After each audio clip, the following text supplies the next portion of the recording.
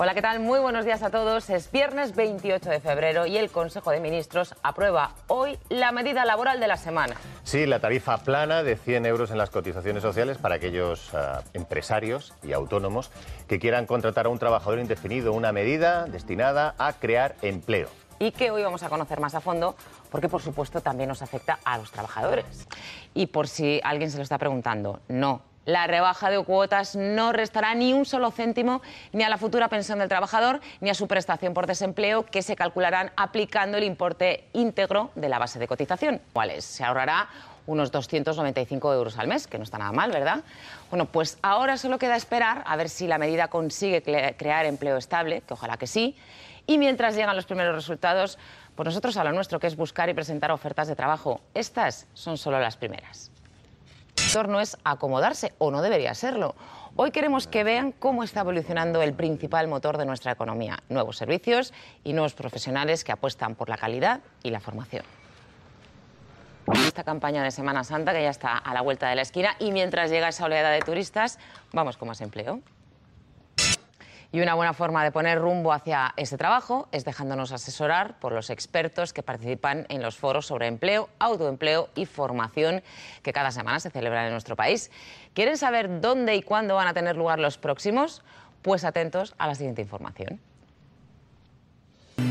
Un viernes más nos vamos a ocupar de nuestros derechos y deberes como trabajadores, un tema que dominan a la perfección los asesores del Servicio Público de Empleo Estatal.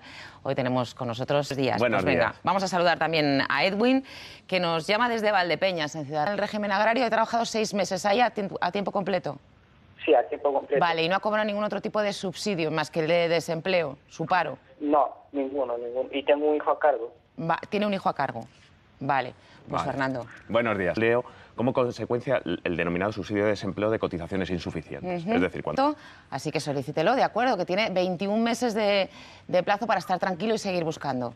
¿De acuerdo? Vale, muchas gracias a todos. Venga, muchas gracias a usted por consultarnos. Vamos a pasar a, a, la consulta que nos envía Ana, que nos ha escrito un email desde Sabadell.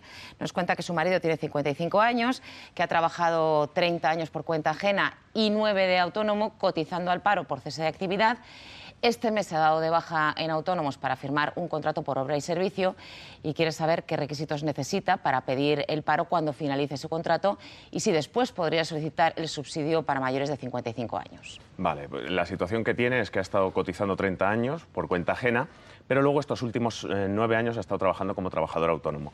Estas cotizaciones autónomo no cotizan a desempleo, pero a partir del año 2011 se permitió eh, que los autónomos cotizasen al denominado cese de actividad. Ha estado cotizando por este cese de actividad, pero nos dice que se ha dado de baja tener cumplir todos los requisitos para acceder a una pensión de jubilación, salvo la edad. Eh, en segundo lugar, haber cotizado 383. 483 euros. Con 98 euros. Eh, no supe todos los requisitos del de mayores de 55 y se le reconocerá, si cumple todos los requisitos, este subsidio en mayores de 55, que cobrará esos 400. No, hijo, nos lo ha dejado como siempre clarísimo. es un gustazo tenerte y te esperamos en próximos programas. Acabadas las consultas y las ofertas, ya solo nos queda repasar y decir adiós. Bueno, pues este viernes les hemos ofrecido 296 oportunidades de empleo repartidas por todo el país. Y en busca y una, entre todas ellas, por la que no ha parado de sonar el teléfono de información gratuito. Sí. Y nosotros volvemos el lunes con más empleo, porque el lunes, como siempre... Aquí habrá trabajo, no se lo pierdan hasta entonces. Que pasen un buen fin de semana. Adiós.